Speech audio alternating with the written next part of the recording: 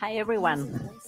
Thanks, thanks to the organization for for having me uh, invite, invited here again. It's a pleasure to to meet all of you, and I hope everyone is having a, a good show. I'm I'm gonna speak for the next 20 minutes, or maybe a little bit more, about the journey that we've been having in in our company in Libelium, but. Uh, about the, the reasons and the drivers that we've seen in the market that have led us to make some kind of decisions. So in essence, we've seen we've been in the market. For those that are not familiar with Libelium, we started in 2006 as a device maker for sensor devices in the IoT, and we've always been playing horizontally, uh, providing a platform to develop any kind of, uh, of project in the in the IoT. So at this moment, uh, when we look at the um, at the market, we see that we are facing many challenges, but not only in this market. We are seeing the climate change mm, challenges, the economic struggles that we are suffering first because of the pandemic, then because of the of the uh, Russian-Ukrainian war, then it's going to be because of the recession. Many things that make business totally different. And there are good news and bad news at the same time. Good news are that for the first time in human history, we have all the tools to solve or at least mitigate all those risks.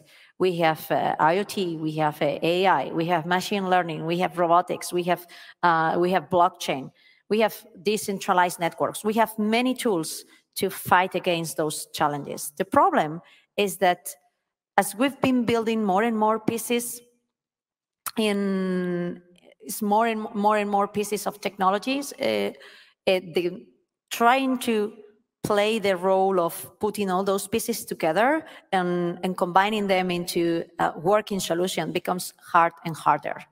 So we need an, an evolution of the IoT.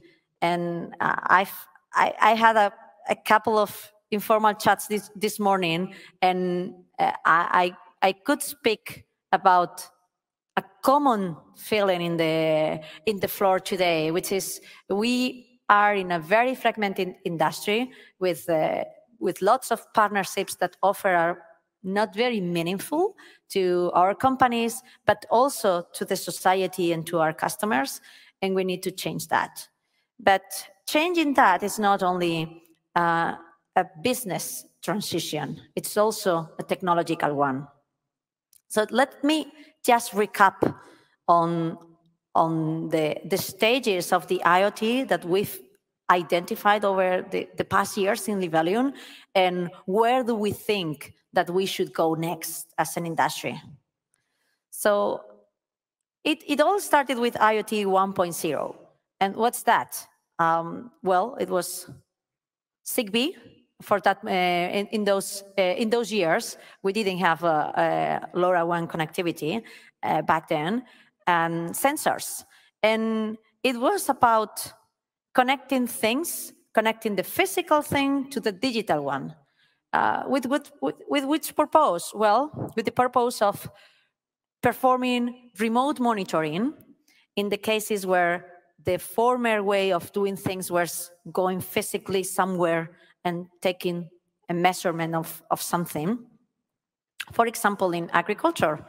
Um, and we have an example here, a real example of um, a farmer that wanted to improve their irrigation system. And they, they, they've been using sensors to do that. Their system is a stupid one the, it's the person operating the system on top of that. They just receive data instead of just going physically and then perform it. Or this other solution, which was already um, joining blockchain, but that's not at the purpose of this example. In this case, the, um, we have a, an, another um, a farmer example. They wanted to monitor and and guess the best moment to fit the, the cows in, the, in order to produce the best milk and to ensure the well-being of the, of the animals.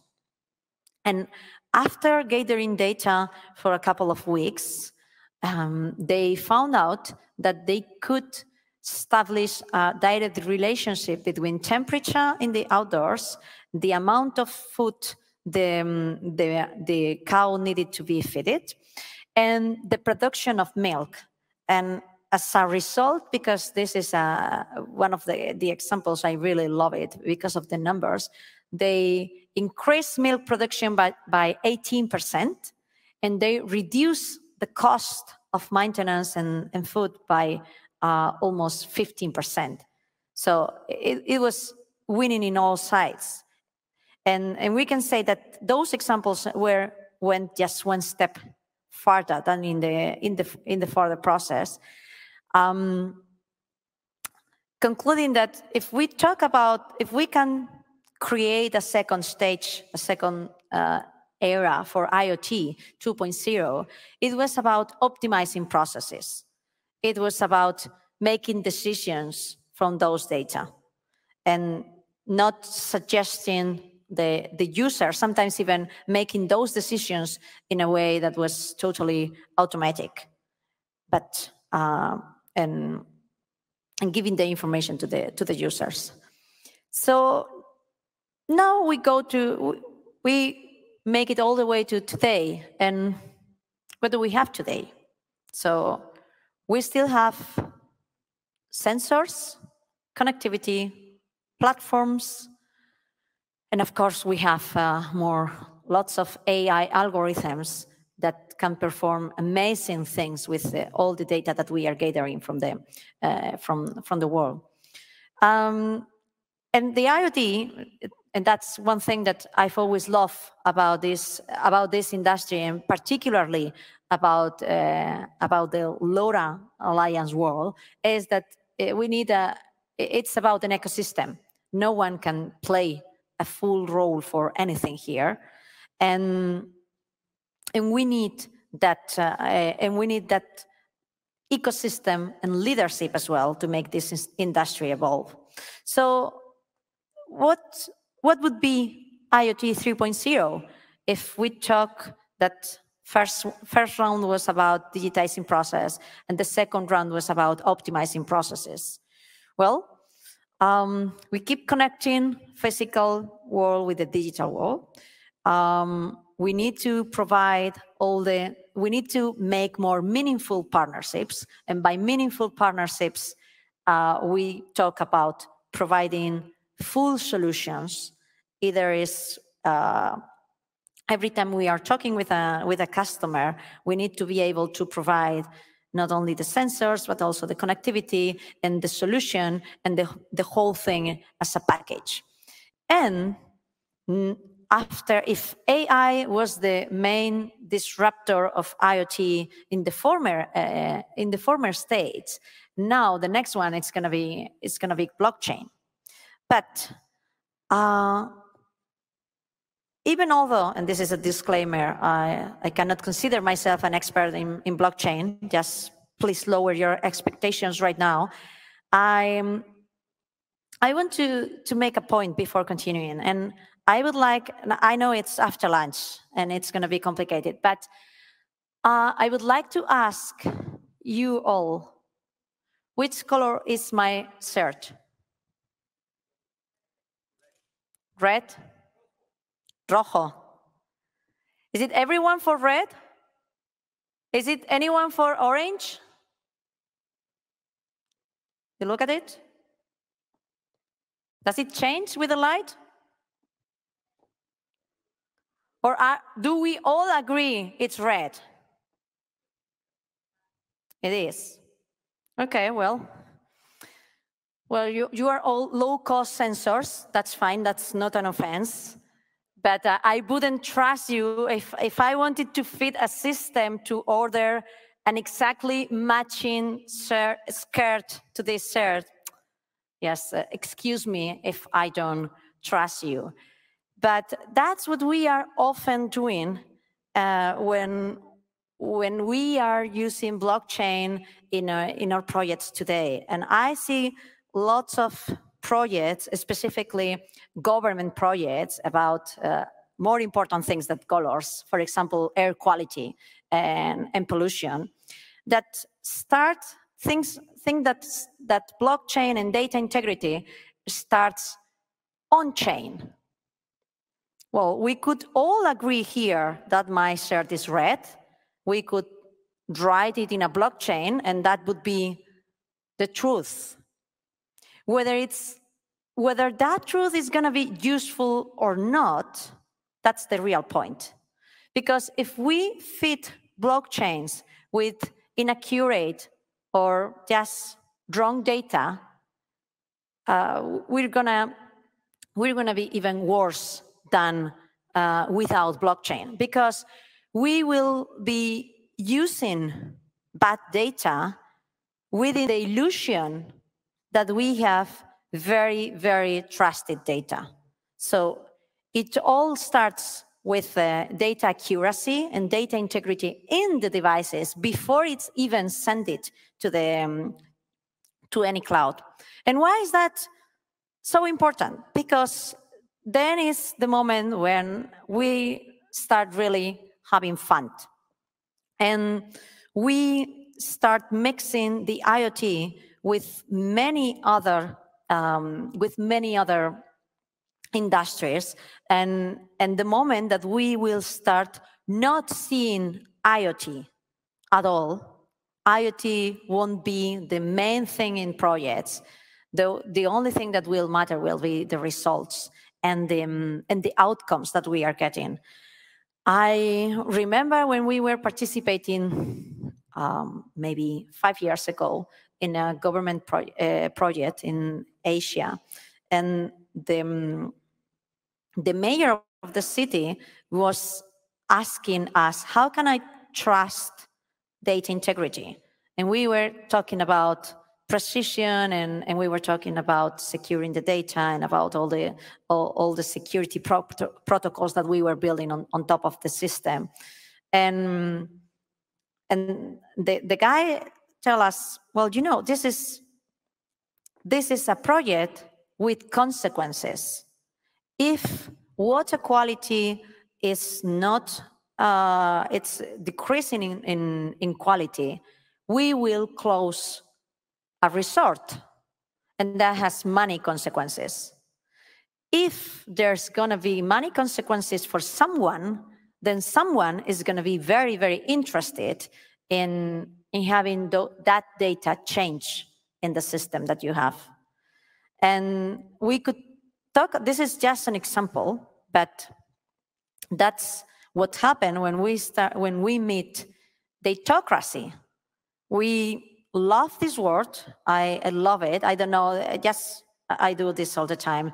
Do you feel that living in datacracy is is it good or bad? Are, do, do you feel scared of this word or not?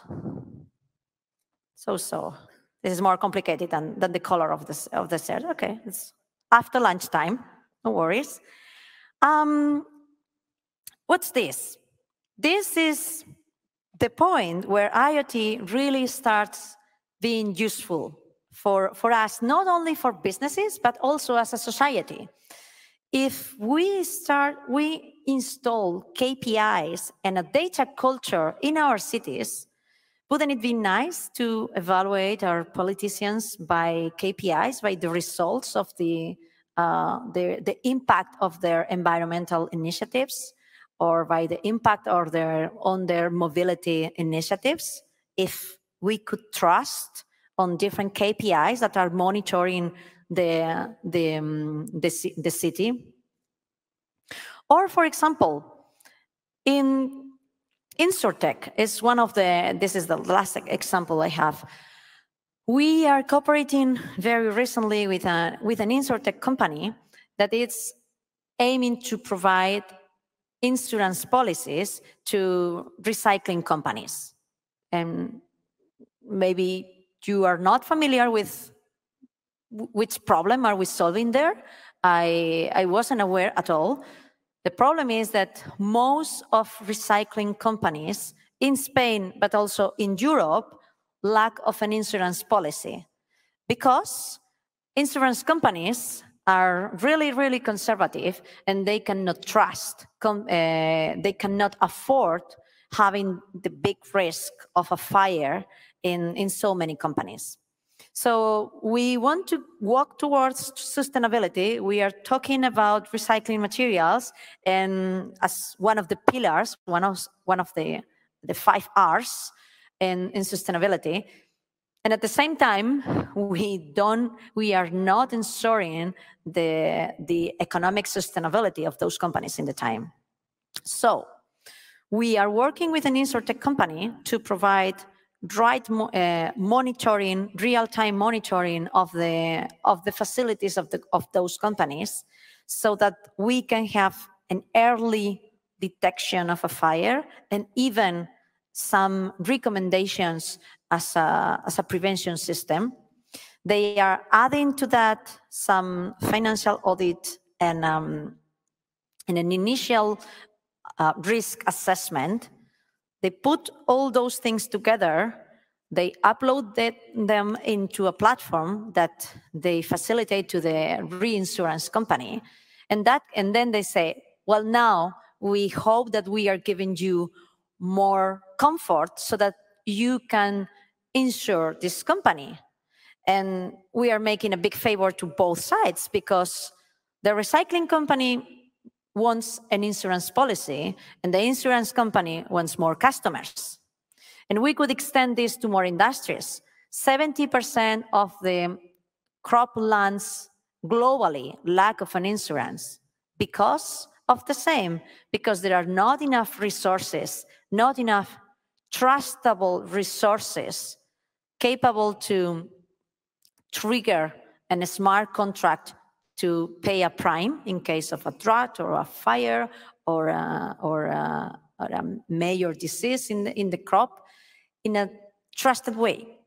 So I think that just to finish and, and wrap up, if we were talking about IoT 1.0 was about digitizing process and 2.0 was about optimizing processes, um, we can say today that IoT 3.0 will be about short data to ensure businesses and ensure the sustainability of those businesses. Thank you very much.